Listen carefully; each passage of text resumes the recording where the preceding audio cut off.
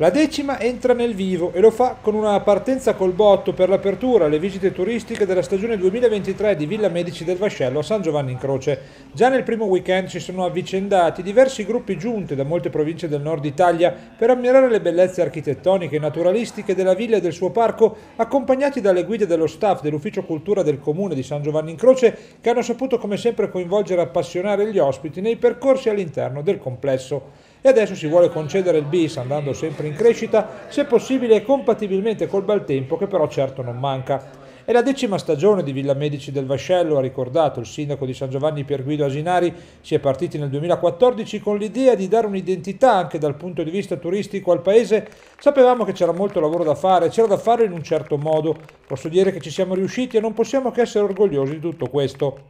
le presenze numerose, costanti e attente dei visitatori, i loro feedback, perché c'è anche chi torna spesso e volentieri, sono riconoscimenti che danno fiducia ed energia per continuare con le proposte che si estendono ben oltre le visite turistiche. A tal proposito Asinare ricorda l'appuntamento del 19 marzo con le attività di birdwatching per i bambini che chiudono il cosiddetto ciclo invernale iniziato lo scorso novembre dedicato espressamente alle fasce d'età più piccole in attesa delle nuove proposte primaverili ed estive loro riservate. Tutte le informazioni peraltro sono sul sito web aggiornato di Villa Medici del Vascello e sui canali social della villa.